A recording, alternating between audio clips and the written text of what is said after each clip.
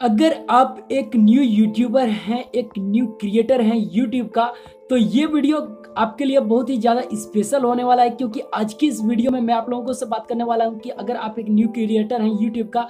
तो आपको टॉपिक कहाँ से चॉइस करने हैं अपने वीडियोस के लिए, अपने यूट्यूब वीडियोस के लिए। तो हेलो दोस्तों, मेरा नाम सरोज प्रजापति और मेरे इस यूट्यूब चैनल में आप लोगों का स्वागत करता हूँ। तो फ्रेंड्स आज हम लोग जानेंगे कि न्यू यूट्यूबर कहाँ से टॉपिक चॉइस करे, जिससे वो वीडियोज़ को अपलोड बना सके और क्रिएट कर सके। तो बने रही मेरे इस वीडियो के अंत तक, और अगर आपने मेरे इस चैनल को अब तक सब्सक्राइब नहीं किया तो सब्सक्राइब करके बेल आइकन को प्रेस कर लेना, क्योंकि मैं इसे टैक्स से रिलेटेड और इन्फॉर्मेशन से रिलेटेड वीडियोस को बनाता रहता हूँ के लिए तो चलिए वीडियो को स्टार्ट करते हैं और देख लेते हैं, सीख लेते हैं कि कहाँ से हम लोग वीडियो को टॉपिक को चॉइस करेंगे। तो सबसे पहले फ्रेंड्स बात होती है कि जब न्यू यूट्यूबर आता है यूट्यूब पर यूट्यूबर का सपना लेकर तो सबसे मेन दिक्कत उसके सामने ये आ जाती है कि मैं जो है, मान लीजिए मैं एक न्यू क्रिएटर है यूट्यूब का तो मैं डेली डेली वीडियोस को सजेस्ट अपने यूट्यूब वीडियो को टॉपिक को कहाँ से चॉइस करूँगा, जिससे मैं वीडियोस को अपलोड कर पाऊँगा डेली। तो सिंपली फ्रेंड्स मैं अब आप लोगों को बता रहा हूँ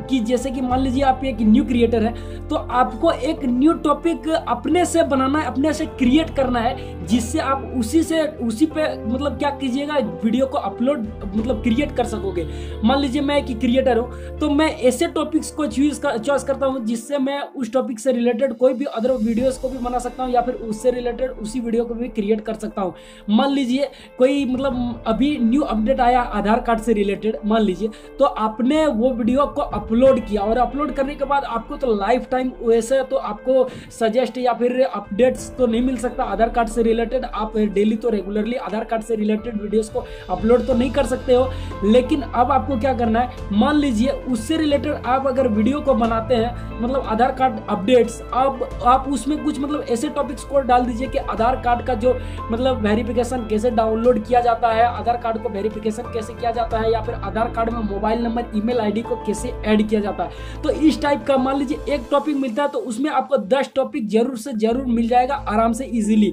तो उस टाइप की आप चॉइस करके अपने वीडियोस को क्रिएट कर सकते हो, अपने यूट्यूब वीडियो को सजेस्ट कर सकते हो और उससे रिलेटेड क्रिएट कर सकते हो वीडियो को अपलोड कर सकते हो अपने यूट्यूब चैनल पर। तो फ्रेंड्स यही थी कुछ जानकारी। अगर आप लोगों को ये छोटी सी जानकारी आप लोगों को अच्छी लगी होगी चैनल को सब्सक्राइब कर लेना और साथ ही बेलाइकन को भी प्रेस कर लेना, क्योंकि मैं इसे टैक्स से रिलेटेड और इन्फॉर्मेशन से रिलेटेड वीडियोस को बनाते रहते हूँ लिए। तो मिलता हूँ नेक्स्ट वीडियो में, तब तक के लिए जय हिंद वंदे मातरम।